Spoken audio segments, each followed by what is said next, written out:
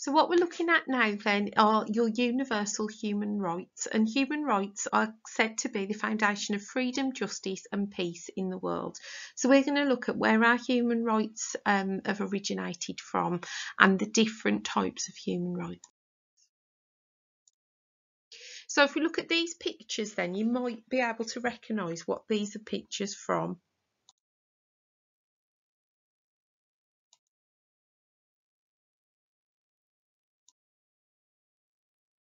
And yet, all of these are pictures from World War II and the Holocaust, and where Jewish people and other minorities were placed in concentration camps, completely discriminated against based on their religion, um, their country of origin, their cultural background, um, their um, sexuality, and so on and so forth, and where they were placed in concentration camps and forced to work either as slave labour or were killed.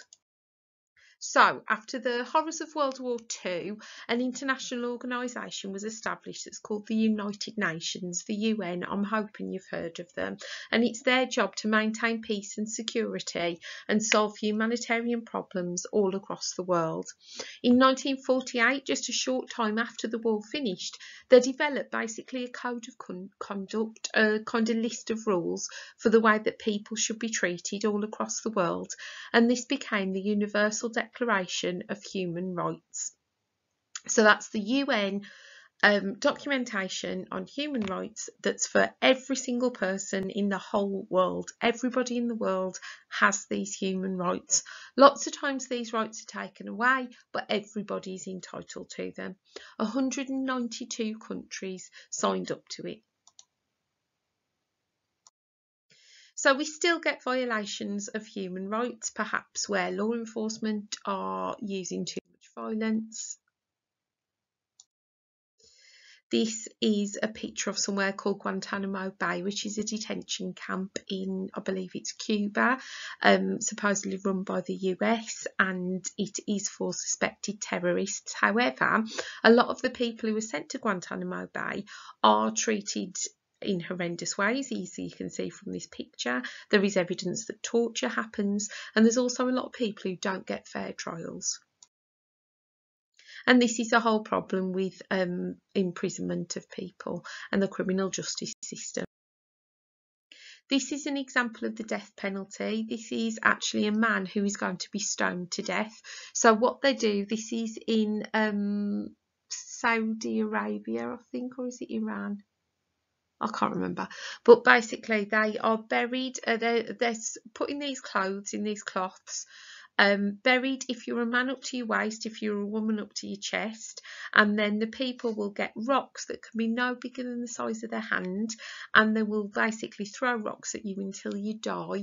And they can't be bigger than that, your hand because that might knock you out straight away, and part of it is about torturing you. Obviously, as well, when there are, um, you know, natural disasters, that violates people's human rights as well because they they can't get sanitation, they can't get education, so on and so forth. Okay, so they're set up to protect all people. We've actually put them into our laws in the UK, but a lot of countries don't actually do that. So these are the human rights then that everybody in the world is entitled to. If you press pause, what you can do is you can code each one, the rights that are about protecting people, the rights that are about guaranteeing a, a standard of living across the world, and the rights about equality. An example of each one has been done for you. Have a go at doing the rest. Press pause. So what I want you guys to do now is to pick what you think are the three most important rights and say why. Then what I want you to do is have a look at the ones that are to do with the law, make a key on them if you've got a copy of them or just note them down. Which ones are to do with the law? These are your legal rights. Okay, so these are the rights then. Your right to equality, freedom from discrimination, Right to life, liberty, personal security. So right to life means that you don't get murdered. Right to liberty means that you don't have to live as um, imprisoned or as a slave. But obviously that can be taken away from you um, if you do need to go to prison. So some rights are not absolute. That means that they can be taken away from you by the state. Freedom from slavery, freedom from torture and degrading treatment. Freedom from torture is an absolute right. You are never ever allowed to be tortured. We know torture happens in some places in the world, um, but you're actually not allowed to do it. Um, you also have the right to recognition as a person before the law and equality before the law. So obviously these are legal ones. And right to equality before the law really comes into our role of law um, rule of law within the UK, where um, it doesn't matter if you are the Queen, if you are the Prime Minister, or if you're a homeless person on the street. If you break the law, you go through the same process that everybody else does. Okay, so you can go through all of those, and lots of those are to do with the law. So, innocent until proven guilty, and it's got to be innocent until proven guilty by a court of law, not by the media, not by public opinion. So free from interference with privacy, family, home and correspondence. This is why know if anybody's ever told you it's illegal to open somebody else's mail and that's why. The only time people can go against this is if, for example, the police need to investigate you and they might have access to your emails and your computer and so on. Right to free movement in and out of the country. This is one people don't tend to know about, and this is what we're talking about when it comes to people who want to seek asylum and things like that. And there we go the right to asylum in other countries from persecution. If your life is in danger in your home country, you have got the human right to go and find safety. You can also change your nationality, free to marry and have a family. And obviously, we've only recently legalised gay marriage. So this has been a human right since 1948, but we've denied it to gay people for decades. Right to own your property, have a belief in religion um, and your opinions peaceful assembly and association so you can join pressure groups you can join unions as long as they're peaceful right to participate in government and free elections. If you do not live in a democracy, if you live in a dictatorship, you do not have that human right met. Um, rest and leisure, of course, is um, important. Adequate living standards as well. Um, and we will talk about this more in detail. Right to education, to participate in cultural life, and so on and so forth. Okay, so if you want to, to help you out with this, you can design a leaflet about the most important rights in the Universal Declaration of Human Rights, adding in as much of this as possible.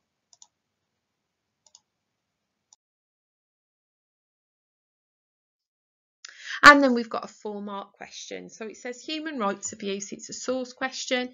It says in recent years, some governments have taken the following actions.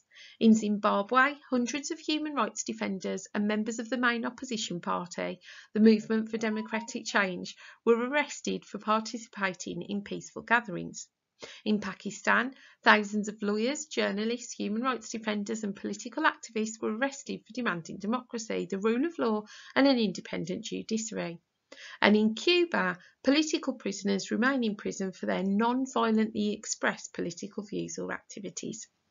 Your question says, question and consider the ways in which those described in source E are suffering human rights abuse according to the Universal Declaration of Human Rights.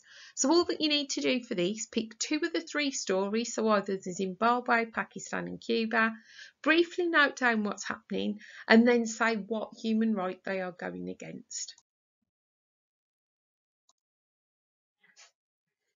Okay, and there's some ideas to put in there too.